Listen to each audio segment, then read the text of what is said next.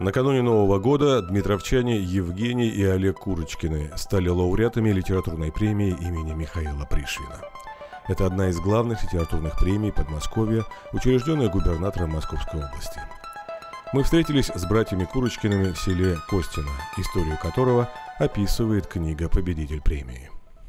Мы начали заниматься генеалогией э, своей семьей и постепенно пришли к выводу, то, что своей семьей ограничиться не удастся. Необходимо писать о всем селе, о всем селе, потому что э, так или иначе все жители связаны между собой, пересекались, и как-то ограни... выделить только свою семью не, не получалось возможным. Поэтому мы стали писать о всем селе. Когда работали, что самое сложное было в работе? Самое сложное найти материал. Потому что, несмотря на то, что село знаменитое, село грандиозное благодаря своему промыслу, материалов не сохранилось. Их нет. Приходилось их выцарапывать буквально по капельке, восстанавливать. Один человек скажет одно, это подтвердится записью в газете или в каком-нибудь э, издании.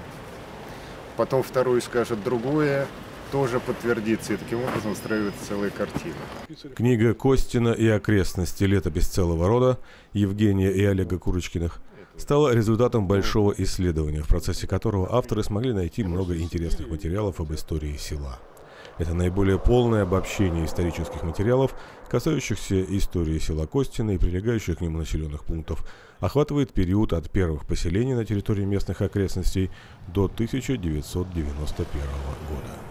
Один из э, объектов книги – это школа, да? Школа старинная. Да, вот мы сейчас как раз находимся рядом с этой школой.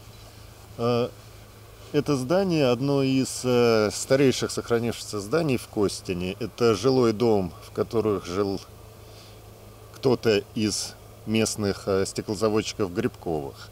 Школа сюда переместилась примерно в 24 году, после того, как э, имущество Грибковых было национализировано, а сами они из деревни выехали.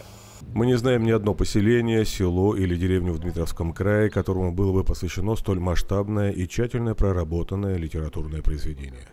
Благодаря братьям Курочкиным мы познакомились с летописью 50 поколений их рода, с историей Костина, тесно переплетенной с историей всего Дмитровского уезда, а позднее Дмитровского района. В работе над книгой братья обращались к вам, э, э, Курочкины. Как вот э, вы, может быть, поучаствовали в работе над книгой? Конечно. Они ко мне обратились. Сначала я с Евгением познакомился, потом приехал Олег. Вот, мы оговорили, как и что. Кстати, они прямые, будем так говорить, что наследники. Я так считаю, что он был мучеником. Вот, Андрей Григорьевич Корыцев, который, он не прославленный, но он здесь Э, трудился, был старостой храма. И вот у меня самые такие положительные, будем так говорить, что эмоции. Я так вот, Господь все устроил. Я благодарю все время за то, что я с ними встретился. Мы так тепло пообщались. Евгений Курочкин – известный дмитровский поэт, участник и победитель многочисленных литературных премий и увлеченный краевед, всю жизнь бережно составляющий страницы своей летописи родного края. Его брат Олег Курочкин в этом ему помогает. Врач-онколог. В свободное от медицинских будней время он разделяет интерес брата к семейной генеалогии и краеведению. Андрей Григорьевич Кайцев был э, один прихожанином храма.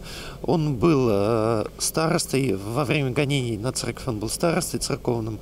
Он был близким другом э, отца Владимира Писарева. Надо отметить, что семья Карыцевых, она давно дружила, э, имел близкие отношения с семьей Писаревых, еще с отцом э, Владимира Писарева.